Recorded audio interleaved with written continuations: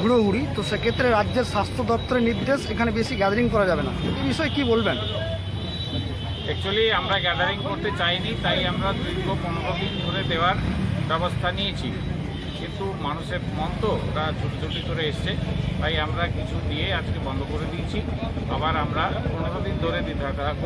আমরা প্রায় পনেরো হাজার মাস্ক দেবো এবং তার সঙ্গে সাবান স্যানিটাইজেশন সব দেবো।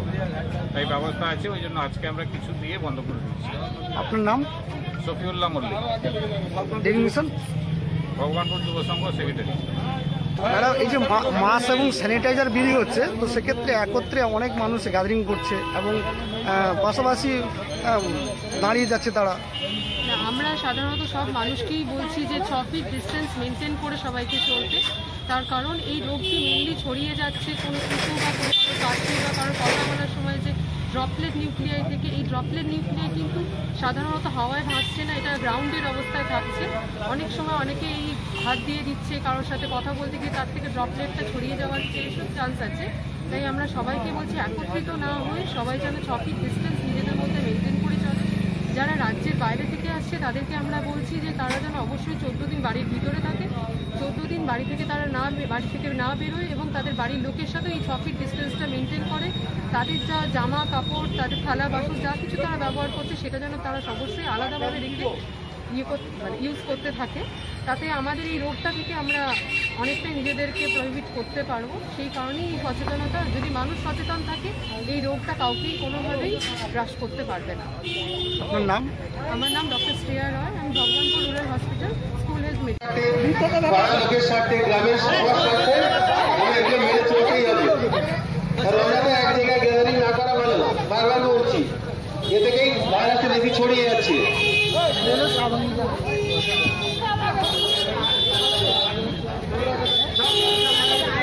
নমস্কার। মধ্যে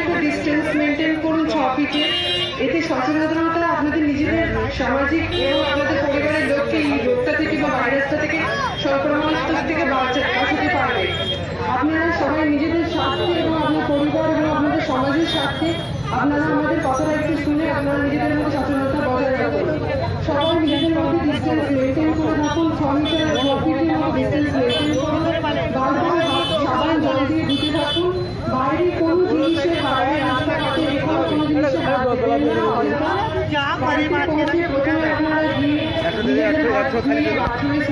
করে তারপরে আপনার বাড়ির সকল জিনিসপত্র রাখতেন হাঁচি বা সেটা অন্য রুমালে পরিষ্কার রুমালে হাসুন মুখ থেকে এই রোগটি সাধারণত মানে ছড়িয়ে পড়ছে এমনি ফুসফুস বা আমাদের শ্বাসনালী দিয়ে। এটা থুতু বা এরকম জাতীয় জিনিস সেখানে কেউ ফেলবেন না। অযথা কোথাও কেউ গ্যাদারিং করবেন না। এই রোগটার মেনলি লক্ষণ তিনটে। লক্ষণ সবসময় সবার মধ্যেই দেখা যাচ্ছে। যেমন জ্বর, কাশি এবং শ্বাসকষ্ট। এই তিনটি লক্ষণ যদি দেখা যায়, তখনই আপনারা ডাক্তারের পরামর্শ পরামর্শ নেবেন এবং তার জন্য আমাদের উপস্বাস্থ্য কেন্দ্রগুলি আছে, আমাদের হসপিটালের আসার দিদিরা আছে। তাদের সাথে সাথে সাথে কন্ট্যাক্ট করুন। যারা বাইরে থেকে আসছে পশ্চিমবঙ্গের বাইরে থেকে, তারাই একমাত্র এসে আমাদের এখানে হসপিটালে চেক আপ করান।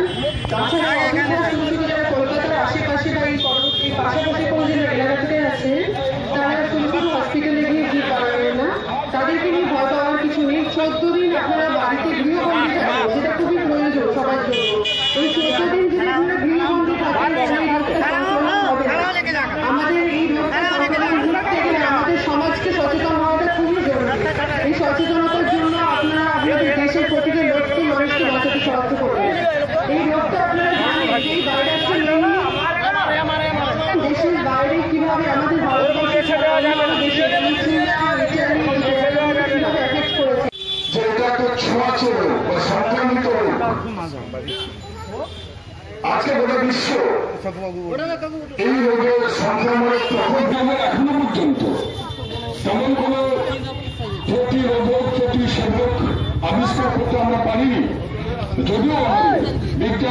যথেষ্ট নির্লস প্রচেষ্টা চালিয়ে যাচ্ছে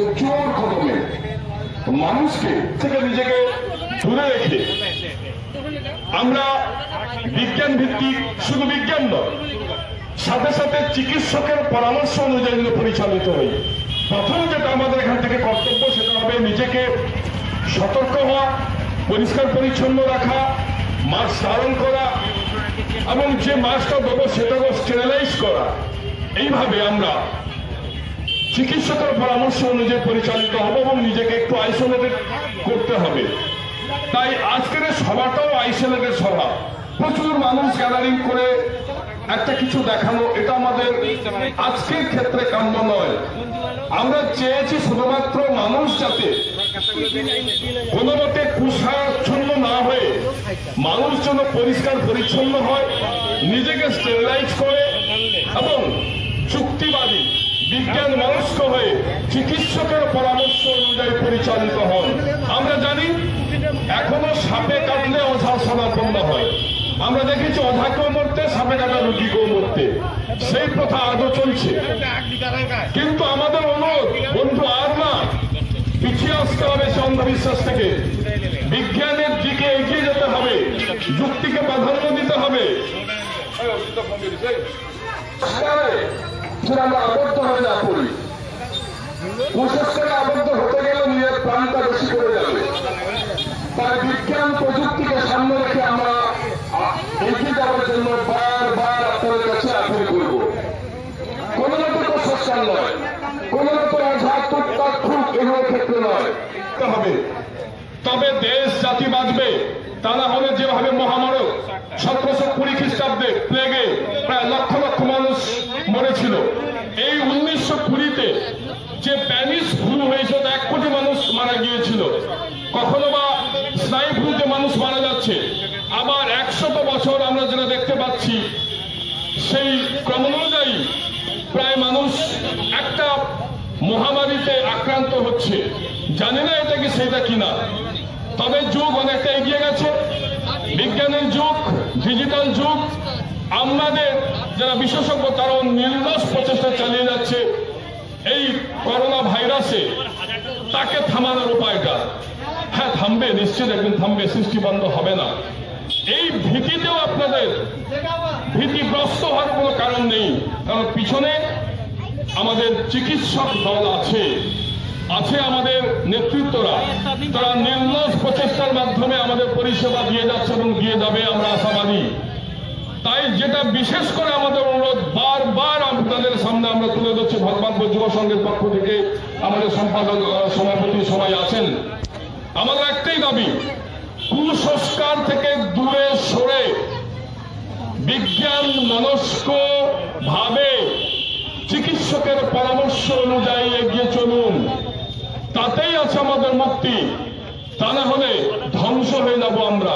অনেক খেসারত দিতে হবে। তাই অনুরোধ, আমরা আজকে মা-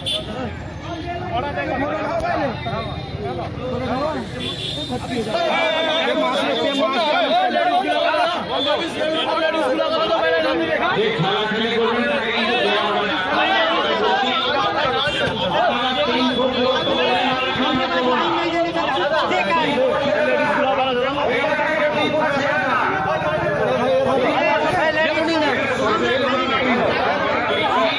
সচেতন মানুষকে করতে হবে, এই করা উচিত নয়।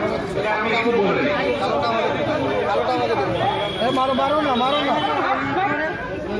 London, London. আরে একসাথে দোয়া করো না।